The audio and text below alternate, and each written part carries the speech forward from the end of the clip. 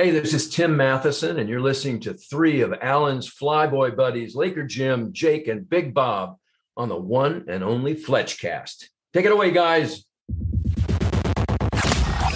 Broadcasting live, live, and around the world. Around the world. From Cabana One, the only podcast that's all ball bearings. Your ultimate source for everything Fletch. Moon River. Whew. Thank you, Doc. You ever serve time? Laker Jim and his beat reporters will stop at nothing to make sure Fletch lives forever. Forever.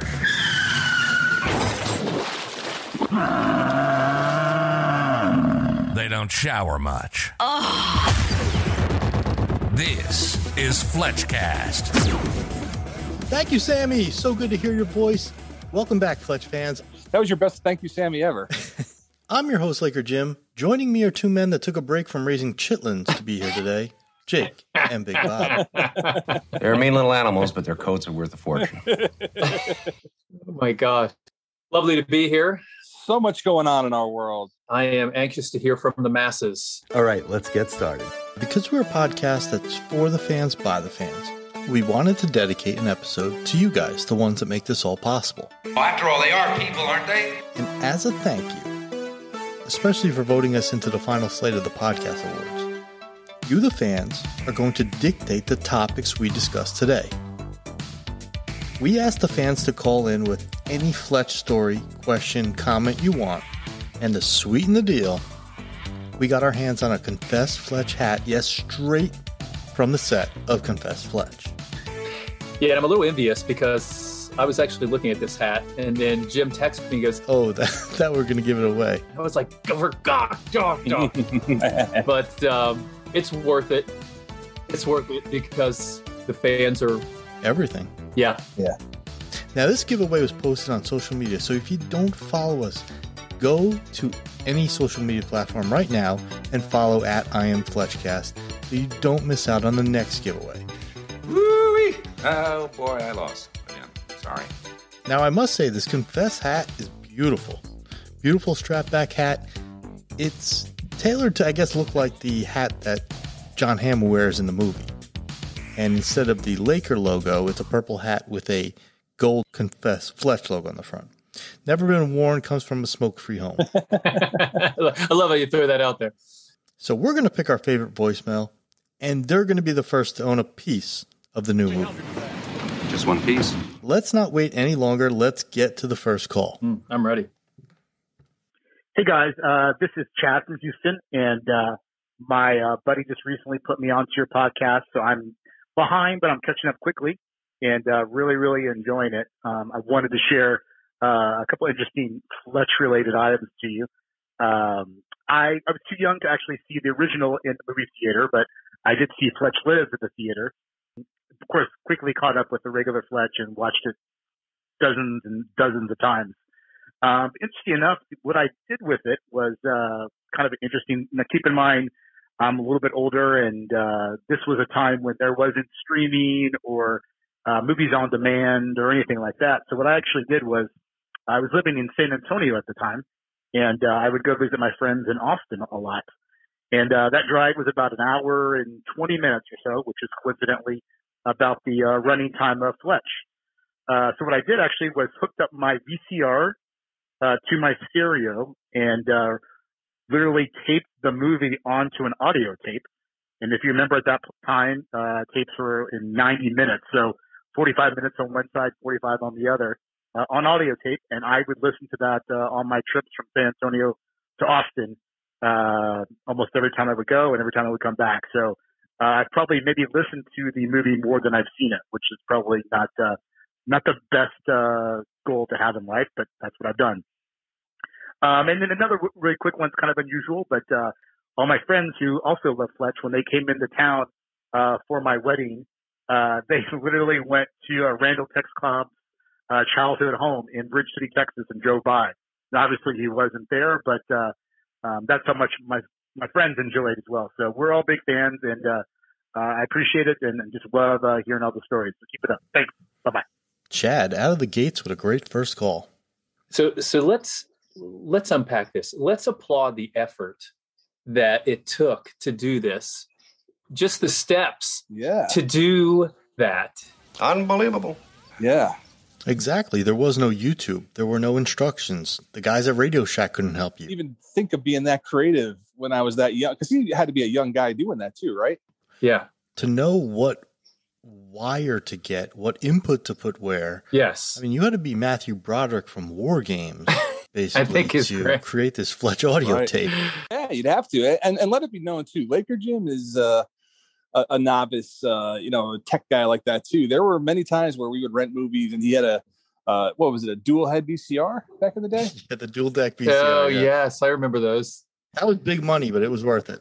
Used to be our go-to guy to record things on that we got from uh, Palmer, West Coast, or Blockbuster, and throw it on you know our own tape. And the next day you'd go there, and I'd get my VHS copy of whatever it was. Not going to say. Yeah. Yeah. Usually those movies were behind a curtain. Yeah, in the other room. I remember when I was when I was a kid, I remember having like the tape recorder and I would tape like TV. This was back in the 80s. Oh, I did that too. yeah, I used to I used to like record like the theme songs from like, you know, A Team and you know, stuff like that, TJ Hooker or whatever. But um to go to that length, I think really deserves some type of applause. And then the other story Yeah. about him going to Randall Tex Cobb's home, I think that's great. I try to do that as well too. Anytime I'm in a town, Feeling a little horny, Ed? Yeah. uh, thanks for the call, Chad.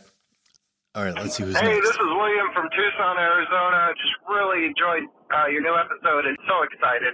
Um, I think you, you, you don't have a pulse if you're not excited about this, literally, um, a new movie. And I was thinking about it a, a couple of years ago, well, more than a few years ago. I did subscribe briefly to Showtime. Um, not one I was particularly excited about, but I was watching a show, uh, Twin Peaks revival show, and so I did subscribe and it had some pretty good content on there. Uh, I had friends tell me that they were really interested in watching Showtime as well because of other shows on there. So it does have a, a good audience. Um, you know, not one that I was super thrilled about either, but it did seem like Showtime has a pretty strong following. So hopefully with that, um, either way, I'll uh, if I have to subscribe to see it, I will. And if you guys, you know, probably too early, but if we hear anything about a DVD or a Blu-ray, that would be really cool too, because that's probably what I would end up doing. All right, see you all later. yeah, those are good questions. William is actually referencing a kind of a question that we had in a previous episode where we were really a little perplexed on the Showtime announcement and we weren't sure if Showtime had enough meat on their bones, but okay, they have Twin Peaks. That's a pretty good franchise. I know it's got a big following. I'm not a Twin Peaks guy. I know Kyle MacLachlan's in it. He's also in Confess Fletch, but okay, so maybe it's not the worst venue to go with Fletch. That's a good. Actually, that's a very good uh, cross reference there. But did you guys see the news that uh, Warner and Discovery are talking about just blowing HBO Max up? Yeah, yeah, yeah. I did hear that. That's crazy. Somehow, if, if Discovery does decide that HBO Max isn't something that they want anymore, imagine how much more important this Showtime streaming service is going to become. You know, it, to a degree. You know, it, it could you could see a lot of people jumping over to Showtime if HBO Max is no longer a thing. Yeah, that's a great point. William, thanks for the call. You and Bob are making a case for Showtime is not the worst option now that we kind of look at it from this perspective. He asked a question about the DVD. Now, I stopped buying DVDs years ago. I probably had 500 or more DVDs in my collection. Now, I don't even own a DVD player anymore, so I'm not quite in touch with the DVD industry. Do movies that launch on streaming or on demand, do they ever make it to DVDs? I'm not sure. Do you guys know? I think that that does happen on occasion, but I don't think that's a common thing. Yeah, I mean, but I still I would love to have it. I mean, like I went out and bought the Matrix, the new Matrix on Blu-ray right after it came out because I'm like a completist, you know, and I'm like, well, I've got Yeah. the first three, I've got to have the fourth one.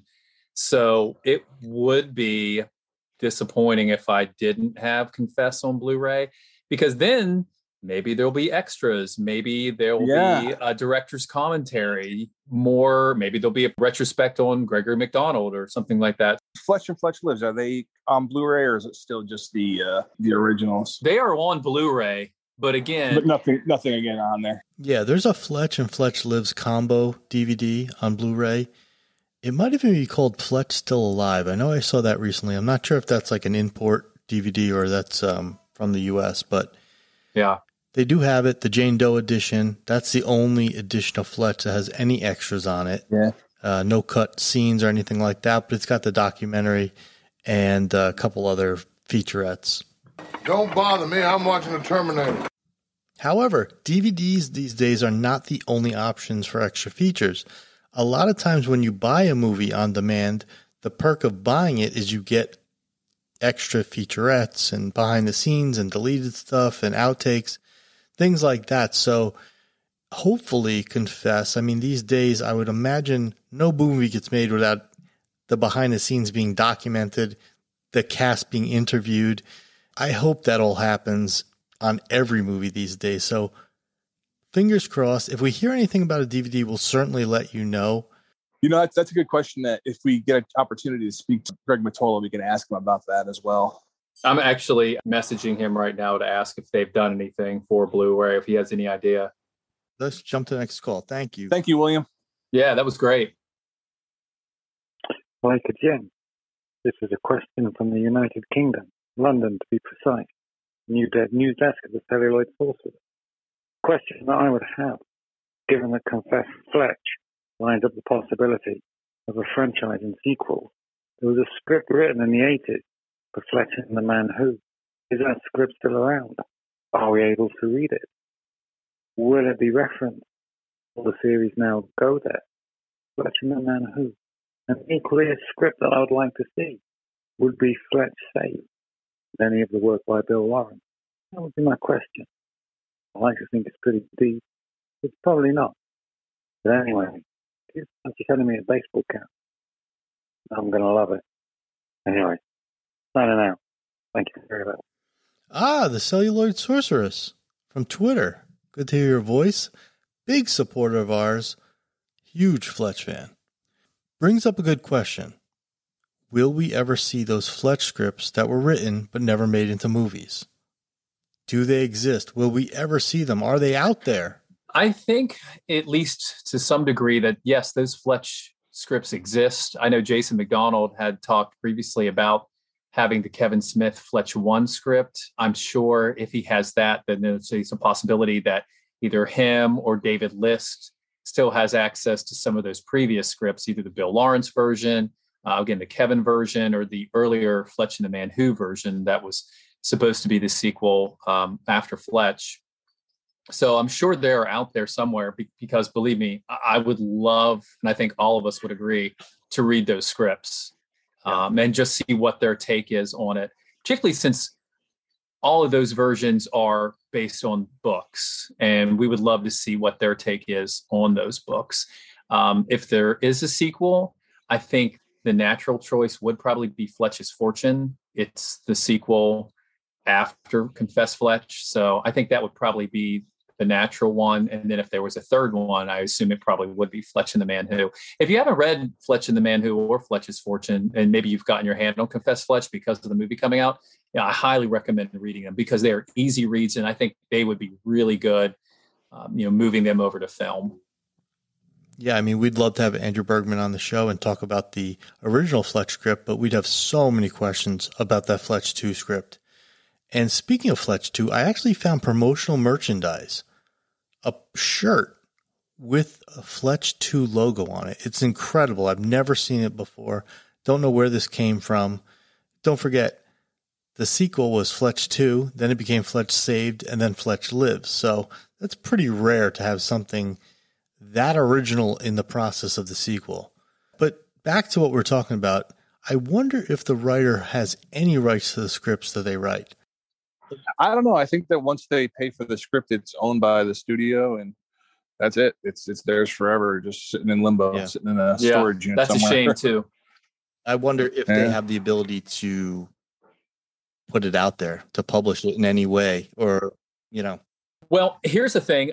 I know that there's an old version of an Indiana Jones script that was written by, um, oh, I know he directed one of the Harry Potter movies. I think he directed one of them. I can't remember.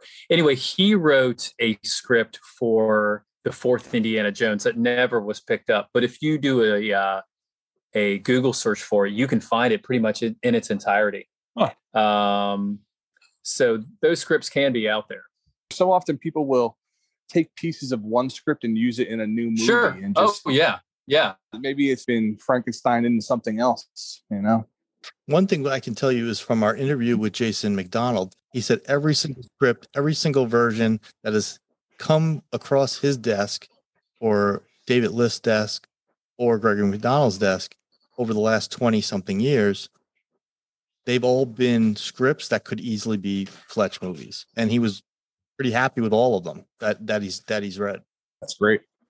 And the sorceress is very active on Twitter. Yes. Thank you very much for your support. Great to have followers that also continue to spread the word of Fletch. Yeah, big fan of Gregory McDonald as well, which is really, really nice to see. And calling in from over the pond. So That might get a couple extra points. that never gets old. Let's go to the next voicemail. Let's see who's going to win this hat. Hello, guys. My name is Mark Delps from Denver, Colorado, and I've been a fan of Fletch for years of all the novels. And all I can say is I've read every single one of them. think they're great. And can I borrow your cow for a second? My car just hit a water buffalo. That's my favorite line in the entire movie. Love you. I mean, thank you. yes. Freudian slips. You can't take them back. We love you too. We're not ashamed to admit it. And we love all the fans. And thank you so much for calling in. I mean, to, to have a fan that loves the movies, loves the novels, loves us, and loves us. Yeah. We, I mean, it's just great. I mean, Mark, we love your body. We love everything about you. This one's for you, buddy. Uh, I just got out of the shower. Yeah. Can I borrow your towel for a sec? My car just hit a water buffalo. Nice place you have here. Mark, thanks so much for the call. Thank you, Mark. Something that we forgot to comment on since our last episode was the fact that we've hit 10,000 downloads. Yes. That's pretty significant. Yeah. That's all you guys. Yes. Thank you. And just to think, something that we created on a whim a year ago has been listened to 10,000 times. Actually, now it's closer to 13,000 times. But I know we're not in the Joe Rogan numbers or anything like that, but that's pretty significant for a little Fletch podcast like us. Yeah. And by the way, we get zero any type of monetary benefits from this whatsoever. we did we did come across a we did come across a free hat. That's about all we got. and we're giving that away. Uh, Laker Jim, how much in the red are we? Yeah. Yeah, just to get the podcast out there to you guys, Yeah. it's, it's about $60 a month Mhm. just just to have the subscriptions to do that. That's take, taking $60 of baby food from Jim's, you know, baby's mouth. Think about that. Which is fine. Which is fine. It's where the she'll live, right? She'll be, he'll be fine. Yeah. All right, let's get let's get right to the next voicemail. Hello, everybody at Fletchcast. My name is Matthew Daniels. I'm from, get this, Provo, Utah. Oh my Oh. gosh. Three I always enjoy Marvin Velma and Provo. And my license plate says Fletch. I'm currently a Salt Lake City resident. I love Fletch more than anything. It's my favorite movie in the comedy genre. No question. I quote it often. And it's not just because I was born and raised in Provo, which is nothing like how it is depicted in the movie. Although it may as well be, because quite frankly, that is incredible. That's what they all say. But I just want to say I love the podcast. I love that you guys hit 10,000 downloads. That's pretty great.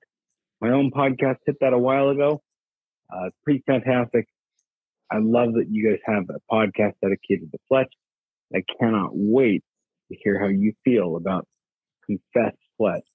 It's a movie that is far too long in the making. Keep it up. Matthew. Matthew, great call. But that's awesome. That what a, what a fan. You know, Provo, uh, Provo, Utah, and uh, you know has the Fletch uh, Fletch deal and everything. That's awesome, man.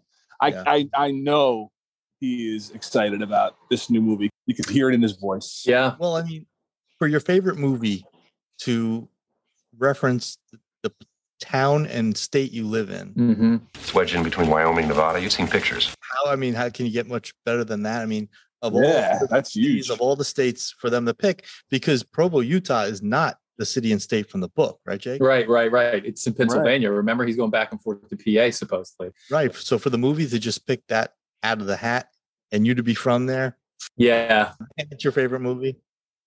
And this too, Matt. You know, Burton Gilliam is a good friend. I, I have one question for Matt: Is have you been singing with the Mormon Tabernacle Choir lately? That was a great call. Provo, Utah. Yeah, absolutely. That's a huge fan, though. I mean, like that really takes dedication. I mean, a lot of people get sports teams or a funny saying or something like that Yeah. on your license plates, but to actually have Fletch, that really says something. I love it. Mhm. I wonder how often Matt has been chased down by mean dogs too out there in Provo. I heard that's a big deal in Provo. that's so cool. Thank you, Matt. Hey, Laker Jim, Jake, Bob. Hope you guys are doing well. This is Dan from Detroit, and uh, just wanted to call and say absolutely love the podcast. Binged all the episodes recently, and now I'm waiting on some new ones. Um, I just had a general question. I know one of you had mentioned on one of the previous episodes some of the other actors considered for the role of Fletch, and I didn't know that Charles Grodin was one of them. And uh, I'm a I love Charles Grodin. Um, one of the funniest movies. Talk about another cult film, Clifford. Him and Martin Short. Oh my God, one of Mhm. the funniest, weirdest movies I've ever seen. Um, just wanted to get your thoughts on what you think he would have done with the role. Um, you know, from the pros, cons, what you think might have worked, might not have worked. Ultimately, I think they did the right thing going with Stevie, but just want to hear your thoughts on what he might do with the role. All right, I gotta head out now for my your analysis. Take care, guys. Love it. I love Absolutely it when they it. throw it a little line in there.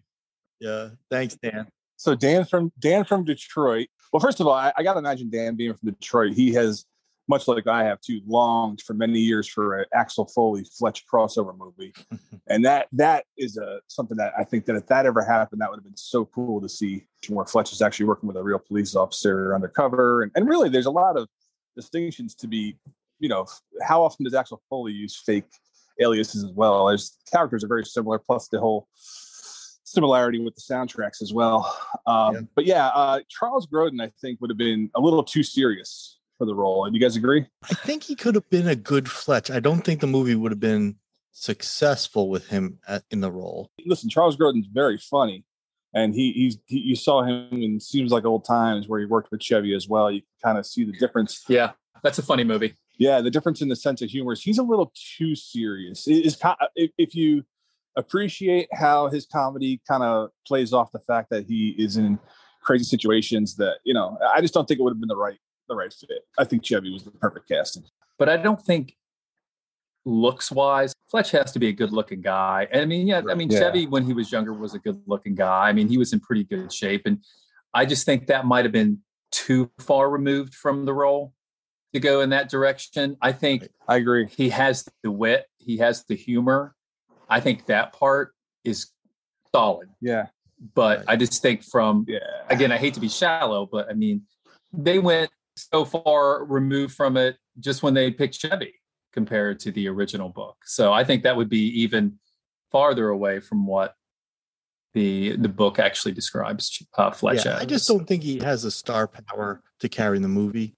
but you know what you, you mentioned too playing off other people i think he would have been a great either a great frank or a great chief yeah or gillette or, or gillette yeah he, he could have played any of those three roles very well Yeah, I could see him as Gillette. Yeah. And hey, listen, we appreciate anybody that binges our podcast. I mean, to me, honestly, Yeah. me and Jake look at the we look at the stats every day. And when I see somebody well, see the preview episode, episode one, episode two, episode three, nothing gets us more excited than seeing a new listener going through them one at a time. And and to be honest, I mean, somebody that gives us uh, God, what is it? Maybe 25 hours, 30 hours of podcast listening. Yeah. That's a Well- hardcore Fletch fan. Yeah, because Fletch One, our first episode, has almost a thousand downloads itself. So Yeah. that's there was a lot of sampling going on. That's for sure. Um, and I remember the other day you texted me where you were saying, "Hey, someone's getting caught up on all the uh, Underhill episodes or something like that." Yeah, somebody put all the Underhills in one. Yeah. All right, let's give uh, the next voicemail a listen. Thank you for your call. Yes, that was great. Hey, gang, this is Zach from Southern Utah calling. Another Utah. Wanted to ask you guys who you think the best female opposite of Fletch is in the books. I know that there's a bunch of different options there, but wanted to get your opinion on that. Also, I want to win the swag. It looks baller. Zach, thank you so much for Yeah. call. Second Yeah. call from Utah. Utah. Absolutely. But that is a good question that he brings up. The best female opposite of Fletch in the books. I think I'm most qualified to answer, and I think it's obviously Bobby. Uh, it's because she's the only book character I know. Bobby didn't last very long. Yeah, she didn't last very long. Although I think, you know, I mean, Bobby was really, I think it really kind of um, set Fletch on a different course once he saw Bobby die in the book. Yeah. I mean, she basically, I mean, she died in his apartment. Um, but for me, I would probably say Moxie. You know, Moxie was around for a couple of books and, you know, they really, I think, connected with each other. They would always pretend when they saw each other that it was the first time meeting each other. And it was really neat. And I think they had a really good relationship in the couple of books that they were in. So for me, I would say probably Moxie. I'd have to agree. I haven't I haven't read all the books, but but the first name that kind of came to my mind when I heard the question was Freddie Arbuthnot. Yes. Yeah. She's in a couple of the, Oh. yes. Yeah. mhm. She's in a couple books, and she also is a pretty good adversary to Fletch. She is. She's a good foil. Yeah, she gives him a run for his money. She's a reporter as well.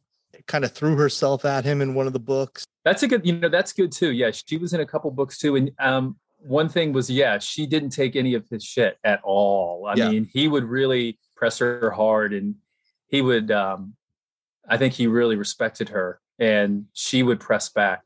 So that's a good one too. For what you're describing, that would be very uh, apropos to a, a, a- female character in 2022. You know, that I can see how they could really take somebody like that and really, you know, push hard on uh, developing somebody Mhm. like that in, the, in a new movie. Hopefully, if we get those two. Which which book was which book was that from? She was in Fletch's Fortune, and then showed up again Okay. in Fletch and the Man Who. Because when in Fletch and the Man Who, uh, Fletch is a press reporter for a candidate, a presidential candidate. So he's like the press secretary, you know, and um, he's riding with a bunch of reporters on a bus during the book as he campaigns this nominee, and Freddie's in there. And Freddie, he meets Freddie at um, the journalism convention in Fletcher's Fortune and that would be the again fortune and, and the man who would be the, i would say the next two movies if they do them so again maybe we would see freddie in in those two books or in those two movies Jay, can I ask you an off topic question, but kind of while we're on it? Why is he the man who? the man who would be president i think Ah, okay. That makes sense. yeah the candidate he's an interesting character too because there's so much going on with the candidate and i don't want to spoil it since you're going through it but with his wife and you know and, and his children so he's a very complicated character as well and is actually i think uh, really gains fletch's respect i think by the uh, by the end of the book um, i think he's just kind of thrown into a situation in the beginning with a friend of his that he was in the military with that let him, you know, basically asked him to take over this position. But I think by the end of the book, he actually really comes to respect the uh, the candidate. Hey guys, this is David from New Mexico. Um, just want kind of question about the books. Thinking about reading the Fletch series, and uh, no disrespect to uh, Laker Jim and Bob, but this question is for Jake. Jake, what order would you recommend reading the books? I know you can read them either in order of timeline or in order they were written, but I want to know your opinion of what order you suggest I should read it, which is the best way to read it. Thank you guys. Love the show. David, no disrespect at all. Jake, the floor is yours. You know, that's a great question. And um, we've had that question before. I've been asked that question a lot. And again, I go back and forth, but I think I finally settled on just the overall arc of the character. And I think you probably would start from the beginning, although he didn't write them in order. We know that he wrote them out of order, but just to see kind of a, a nice, fun arc of where Fletch began in Fletch 1 all the way through to Son of Fletch and Fletch Reflected. So let's go Fletch 1, Fletch 2, Fletch and the Widow Bradley, Fletch, then to Brazil for Carioca Fletch, then to Boston for Confess. And then after Confess, we went to the plantation for Fletch's Fortune and the Journalism Convention, then to South Florida to Key West for Fletch's Moxie, and then finally Fletch and the Man Who. And then again, the Son of Fletch books, Son of Fletch and Fletch Reflect. Now, Jake, I have a question.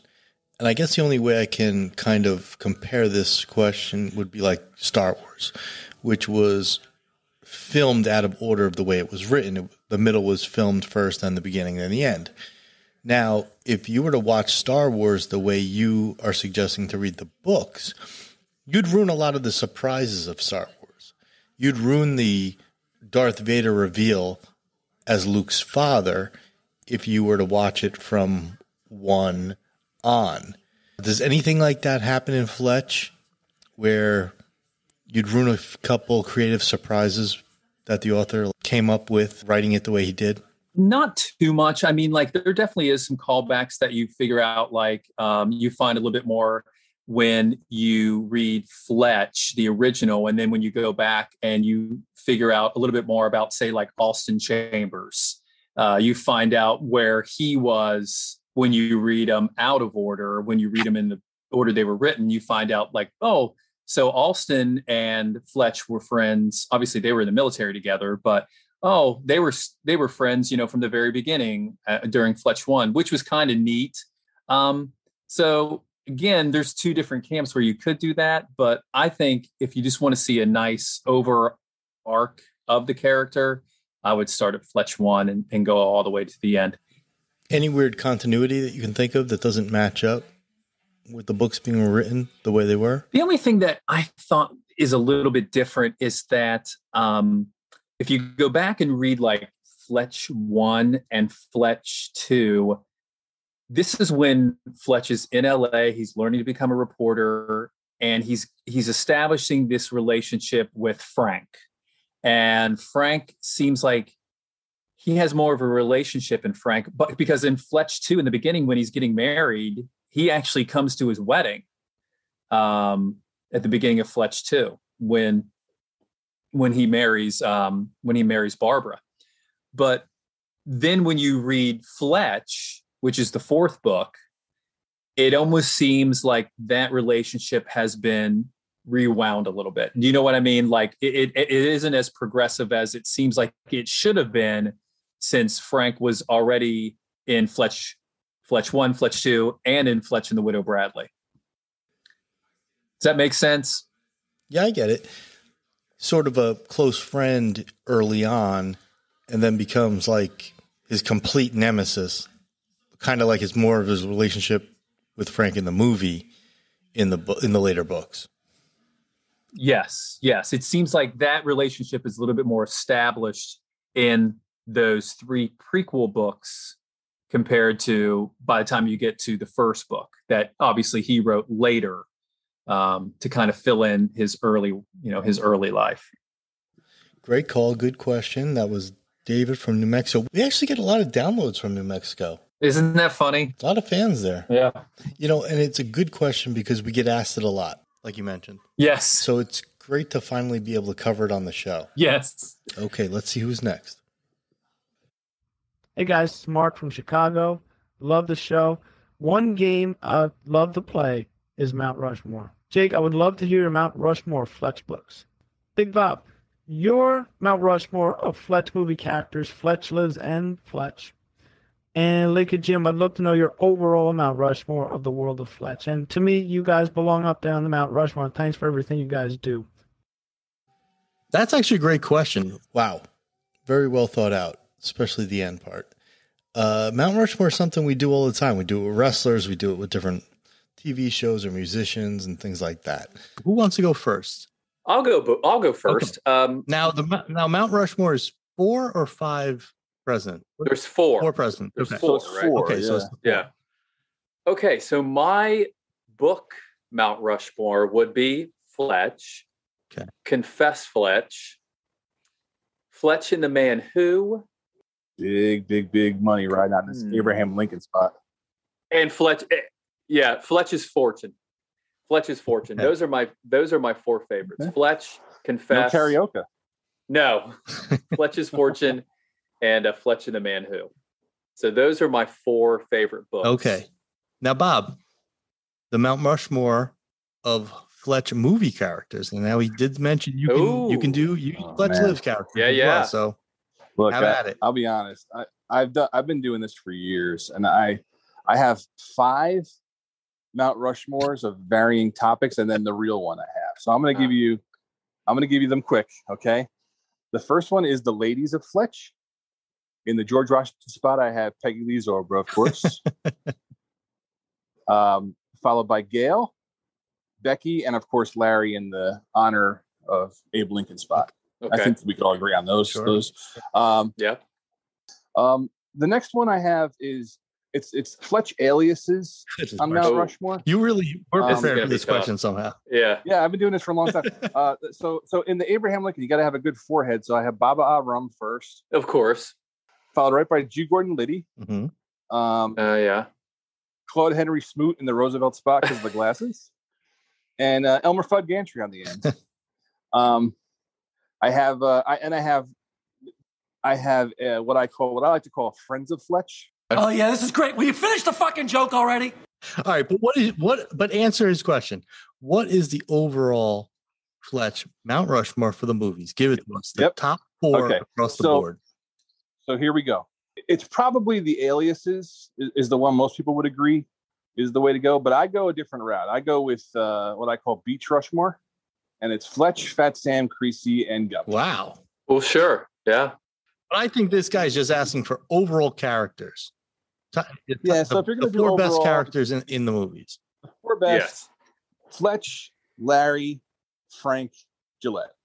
I, I don't know. I think as far as longevity, I would I would almost put Underhill in there instead of Gillette. Yeah, Hmm. Really tough. that's why I have like six of these damn things going because I can't decide. I think I you would- have to go ali- I think you have to go aliases because really it's about the Fletch characters. Yeah.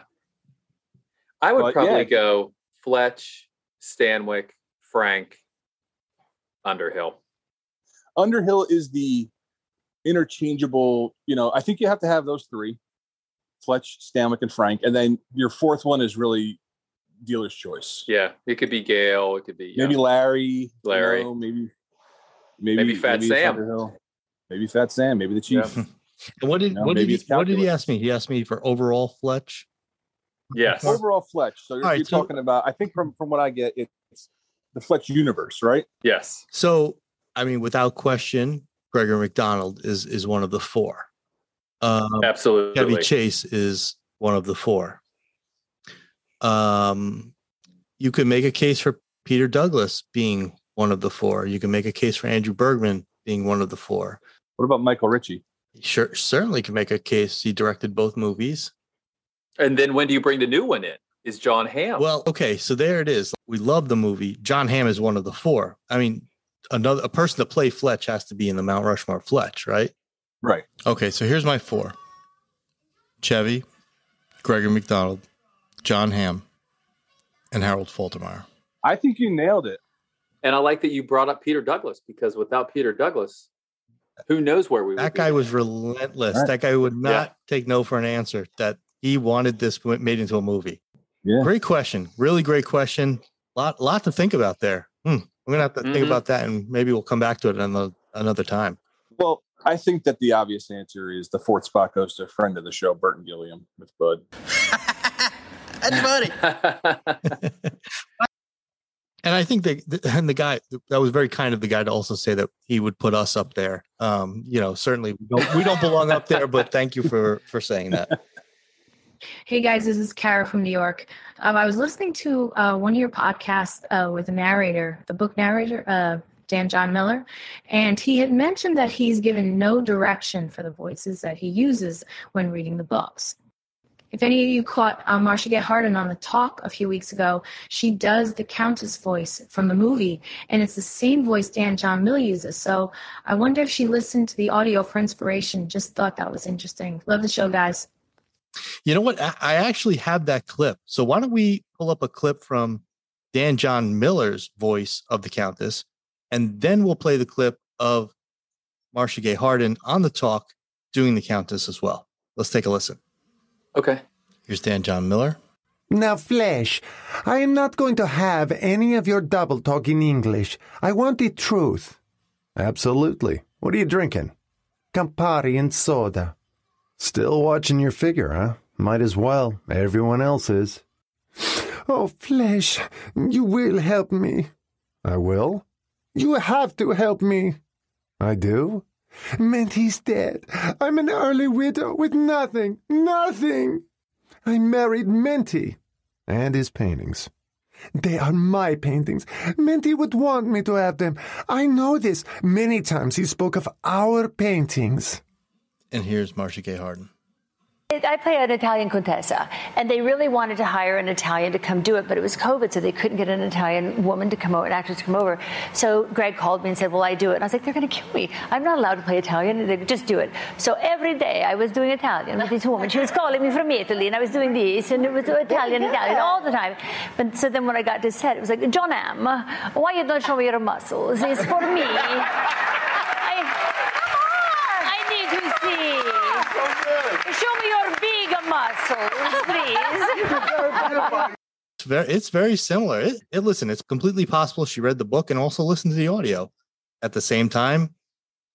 That could just be an Italian countess voice. That's the way you do the accent. Mm-hmm. You know, it's also possible that the, the director heard the audiobook and said, Hey, this is how you need to, you know, voice the character to her, to the actress. I guess that's Yeah, possible. it, was, Yeah. it was interesting that she said that they they really wanted an Italian woman. But Mottola must be really high on her, you know? He really, really wanted her. Yeah. This is a real chicken before the egg kind of question, you know, who who heard what voice and how did it adapt? Yeah. I have a feeling it's probably, I mean, she's a well trained actress Mhm.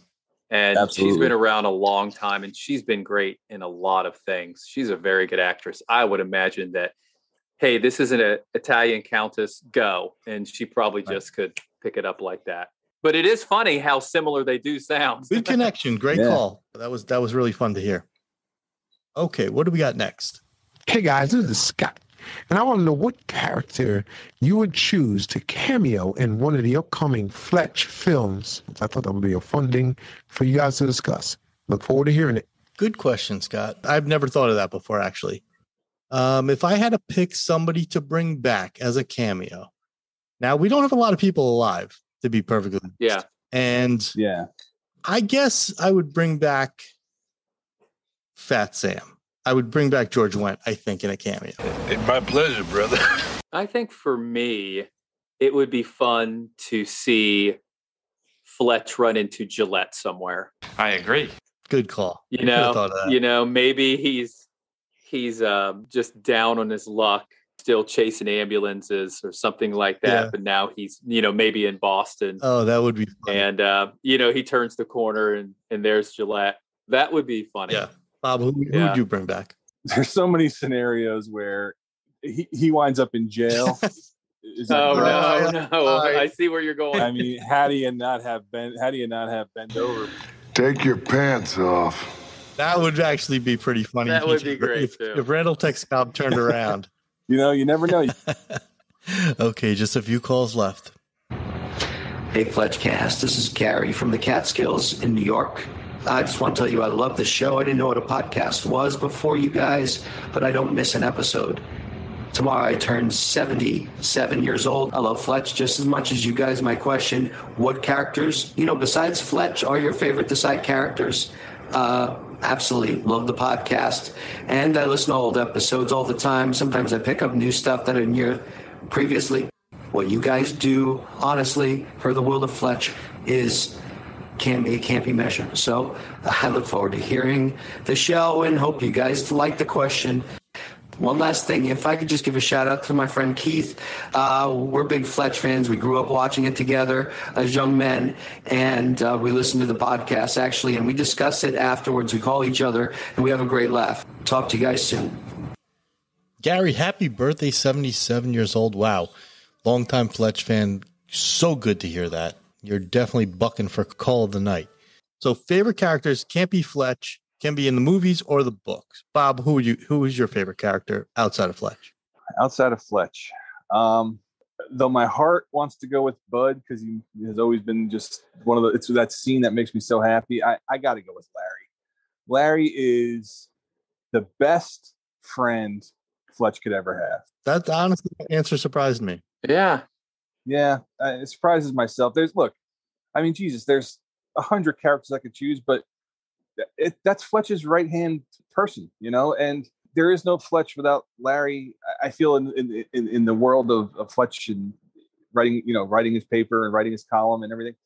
There's no Fletch without Larry. I feel like Larry does so much for Fletch, and you gotta, in my opinion, you gotta have Larry. My hero.